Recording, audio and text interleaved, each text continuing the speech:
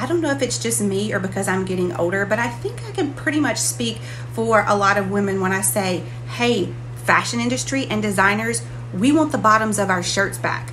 I'm tired of not having any options to buy any clothes when I go shopping. Everything is a crop top, everything is cut off. What's the purpose of a cropped hoodie? I will never get it. I wear hoodies because I'm cold. That means I want the bottom piece covered up too. So can we please have more options? And Target, come on Target. I used to love to shop clothes at Target and now we've become a little house on the prairie. So can we get together? Can we have a little conversation or a little meeting and design some better clothes than just crop tops 24 7? We want the bottoms of our shirts back. I'm going to start a petition. Come on, guys, we have to do better.